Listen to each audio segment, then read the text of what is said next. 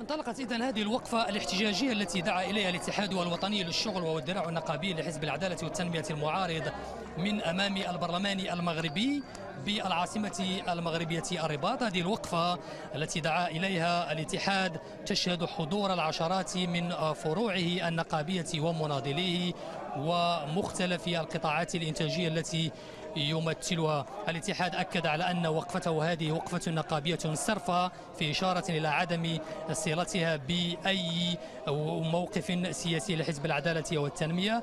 بالطبع هذه ليست أول وقفة لكن الاتحاد أكد على أن وقفة إنذارية ربما قد تليها خطوات تصعيدية أخرى.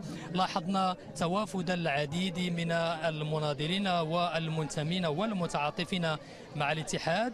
وبحسب تقديرات أولية يصل عدد المشاركين في هذه الوقفة إلى نحو ألف مشارك حجوا من مختلف المدن.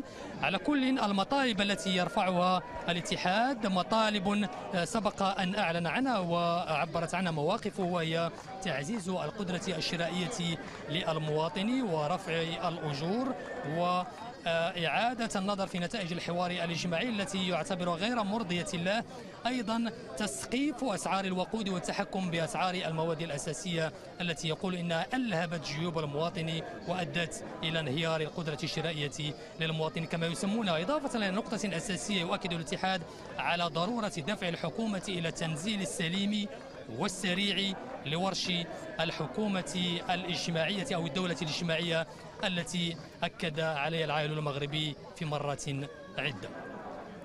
عبد الصمد العربي الرباط